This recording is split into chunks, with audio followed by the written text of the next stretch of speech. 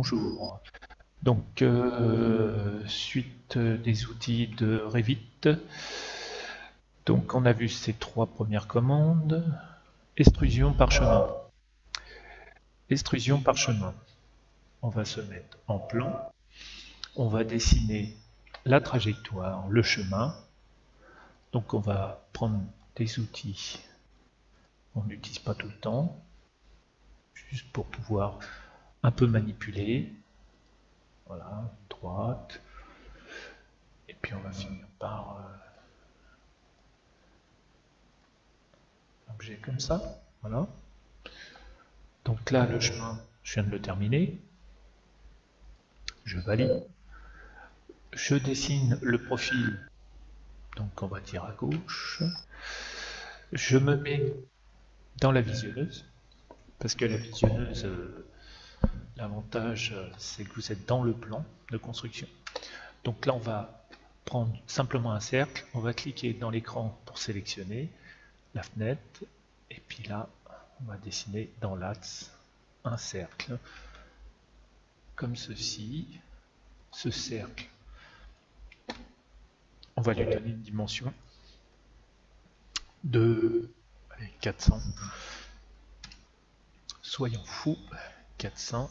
Voilà, comme ça il y a une intersection avec les objets qui va parcourir, enfin quand il va parcourir tout le chemin.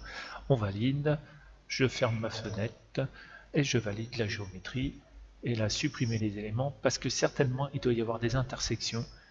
Donc annuler et je vais diminuer le cercle. Parce que je pense qu'il doit y avoir euh, par rapport à mon chemin un petit souci. Donc je vais faire sélectionner profil, modifier profil, visionneuse, et je vais diminuer ce cercle. Je vais le faire à 200. 200, ça sera peut-être mieux. 200, j'ai dit.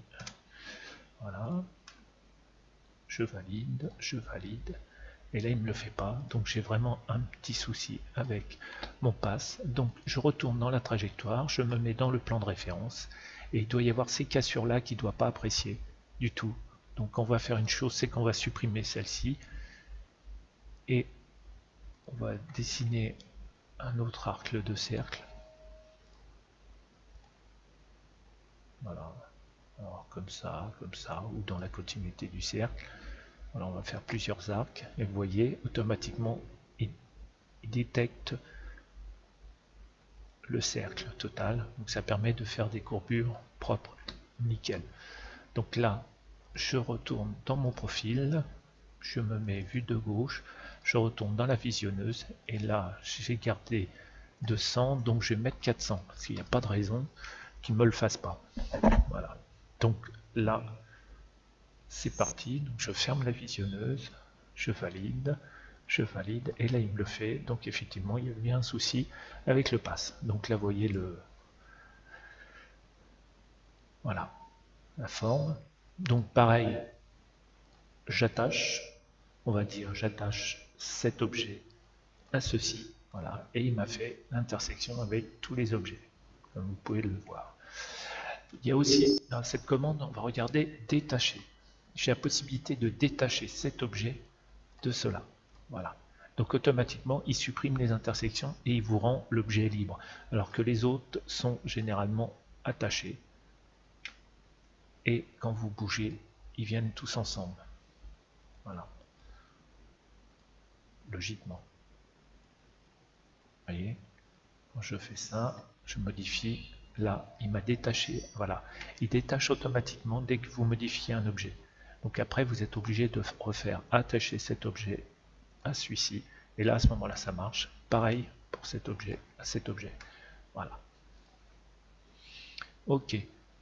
Donc on va voir maintenant le chemin, alors un chemin par accordement. Alors c'est la, même commande que celui-ci, c'est-à-dire avec deux profils, mais à la différence c'est que vous, déterminez un chemin dans la même principe de comment dire de construction du chemin qu'on vient de voir dans cet exemple-là.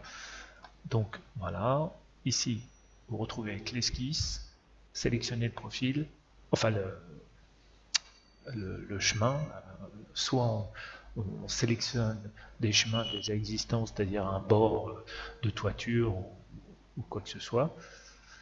On peut faire l'exemple. Je ne sais pas s'il va déterminer. S'il détermine, voilà, voilà cet exemple. Donc là, vous avez deux profils qui vous met. Donc là, je valide mon chemin. Donc je dis profil 1. Modifie le profil 1. Donc le profil 1, il est là parce qu'il est actif. Et l'autre, il est inactif. Il est en grisé. Donc à ce moment-là, je lui dis, on va faire des, choses toutes simples. Je dessine directement en 3D pour vous montrer qu'on peut le faire aussi.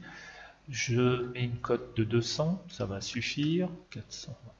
Et là, je vais dire que je vais prendre... Ah, pardon, je valide. Je prends le deuxième profil. Je modifie ce profil. Je rentre un carré ou un parallépipède, peu importe la forme, je valide ce profil et je valide l'objet. Voilà ce qui m'a dessiné. Donc vous voyez, il a bien dessiné le long du profil. Donc là, j'avais mon cercle qui était sur l'axe. Et là, j'ai dessiné mon objet qui était sur le bord du chemin. Donc il a dessiné l'objet, il a fait la jonction. Voilà. Donc je fais attacher cet objet à celui-ci. Et on peut voir la jonction parfaite qui nous fait. Voilà pour cet objet. Dans la création raccordement, on a vu toutes les commandes, donc je vais m'arrêter là. Et dans notre vidéo, on va faire tout ce qui est vide.